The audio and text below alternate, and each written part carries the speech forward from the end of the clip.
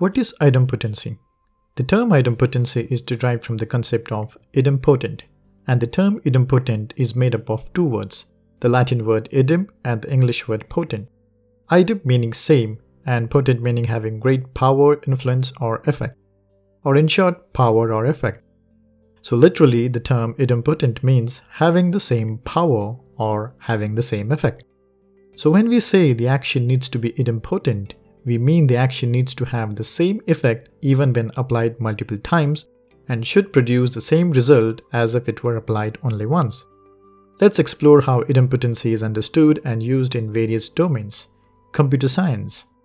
In computer science, idempotency plays a crucial role in designing reliable systems and protocols.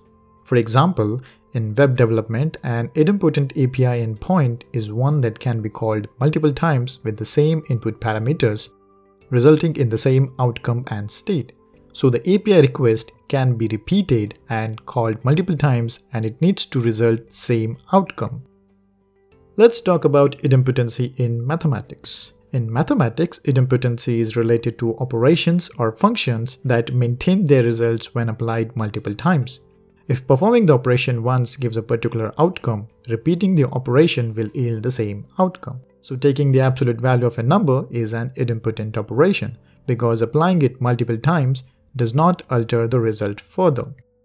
Similarly, multiplying a number with 1 is idempotent or multiplying a number with 0 or adding 0 to a number. These all are idempotent functions. Idempotency finds practical application in various real-world scenarios. For instance, in financial transactions, an idempotent operation ensures that the same transaction request can be safely retried. So even if the shop requests the bank to charge card multiple times due to some issue, the customers need to be charged only once, and the bank should update the balance only once.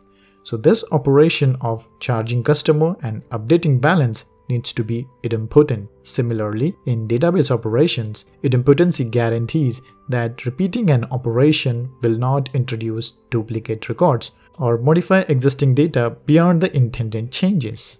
In summary, idempotency refers to the property of an operation that maintains its result even when applied multiple times. Or simply you can remember idempotent as operation that have same effect. Thank you for listening.